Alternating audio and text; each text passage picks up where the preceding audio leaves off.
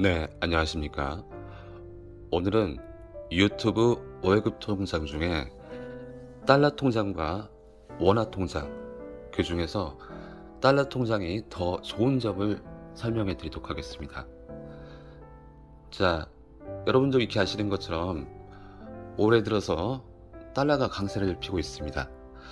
그리고 어, 제가 도표로서 지난 10년, 지난 5년, 그리고 지난 3년, 최근 1년간의 어, 그래프를 참고할 건데요.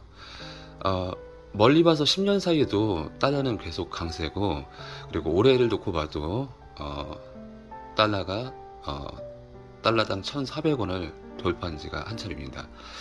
앞으로 음, 미래에 대한 전망은 전문가들은 달러당 1,500원도 어, 거품이 넘을 거라는 얘기를 할 수 있습니다.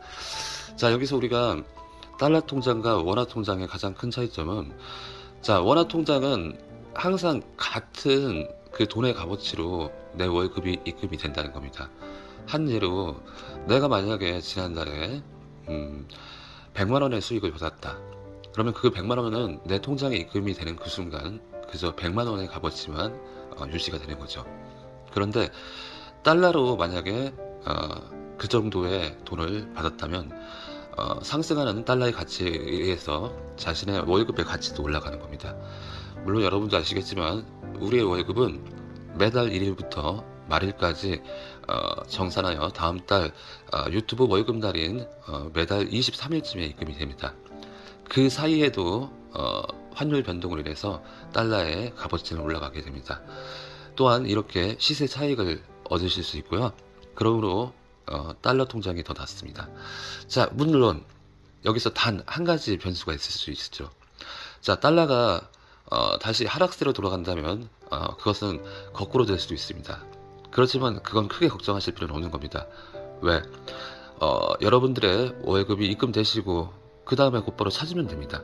그러면 되기 때문에 아까 말씀드린 것처럼 달러가 하락 증세로 된다고 해서 음, 내가 큰 손해를 보는 것은 아닙니다.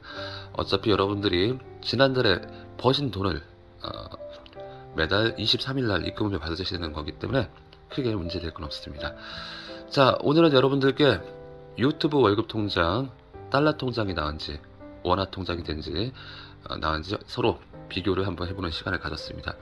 자 앞으로도 우리 왕초보 유튜버 분들께 도움이 되는 그런 영상 많이 올리도록 하겠습니다.